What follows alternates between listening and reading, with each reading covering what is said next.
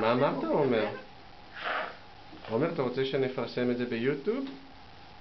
שתהיה ברשת? אה?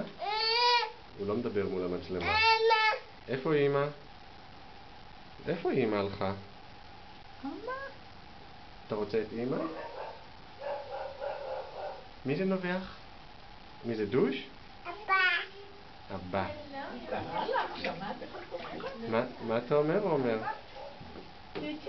יש לך עוד פעם עקיצה חדשה?